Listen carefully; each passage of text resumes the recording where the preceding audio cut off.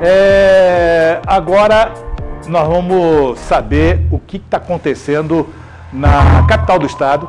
Quem vai trazer as informações direto da redação lá da Rádio CBN é a Thaís Sintra. Eu começo o registro policial falando sobre um acidente de trânsito envolvendo dois veículos que ocorreu na manhã desta quarta-feira aqui na capital.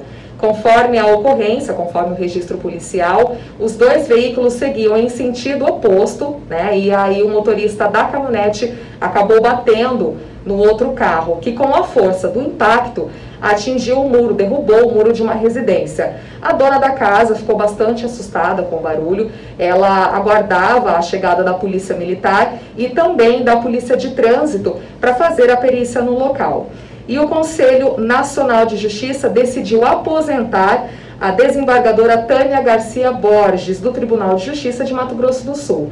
Só para a gente entender o caso, a Tânia é suspeita, né? na verdade ela beneficiou o filho dela, o Breno Borges, em 2017, porque aconteceu o seguinte, o Breno, ele teve, ele foi pego com 130 quilos de maconha, transportando 130 quilos de maconha e 200 munições. Isso aconteceu em 2017 e aí a Tânia, junto com o advogado, a desembargadora, chegou a transferir o filho da, do sistema prisional para uma clínica psiquiátrica, alegando que ele havia, que ele tinha problemas mentais. Então, por conta disso, o CNJ decidiu aposentar compulsoriamente a juíza, a desembargadora Tânia Borges.